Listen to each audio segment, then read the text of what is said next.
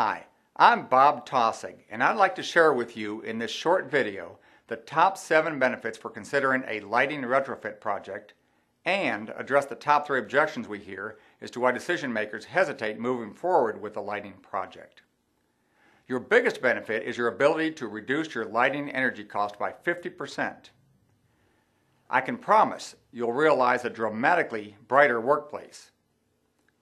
Utility companies typically contribute as much as 35% of your project cost. Until December of 2013, the IRS will allow you to depreciate the entire project cost in the first year. T12 lamps and magnetic ballast are no longer being manufactured. We typically see paybacks of 8 to 24 months, especially in multi-shift operations. Your lights come on instantly, allowing us to incorporate motion sensors so you can save even more energy.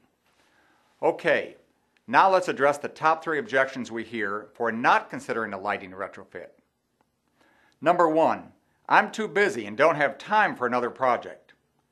I can promise you the amount of time you'll spend is surprisingly minimal. Many times top management will invest no more than one to two hours on these projects. So long as the directive comes from upper management, we can work with your maintenance department to orchestrate the balance of your project. Number two, I'm convinced my production will be interrupted. We can work second or third shift if necessary to eliminate any disruption. We can also work weekends.